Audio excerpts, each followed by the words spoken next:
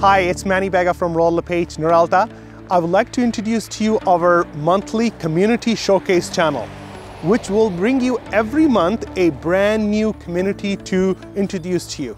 What that means to you, every community, why you wanted to purchase or why you wanted to live in that community. This month, we would like to introduce to you our community called Laurel.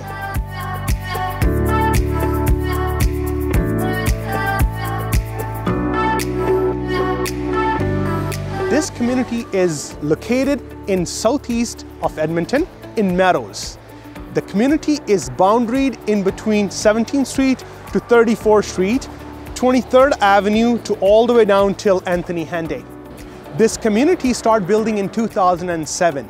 It has close to 1600 to 1700 homes available. Still growing very, very hard. It's growing one of the fastest community in southeast of Edmonton.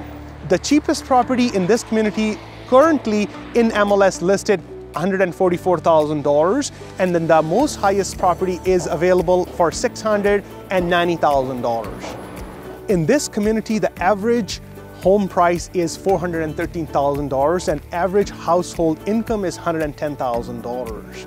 In this area, we have a apartment, single family home, duplexes and row houses too.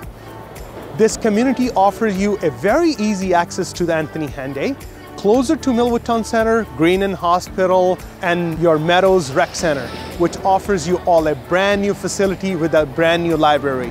Also, they open up a brand new school in this subdivision, kindergarten to grade 9. Stay tuned.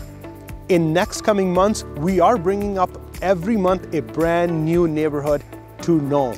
If you guys wanted to highlight any neighborhood, please give me your comment. We'll be definitely research and bring you all the facts. Stay tuned and subscribe to our channel.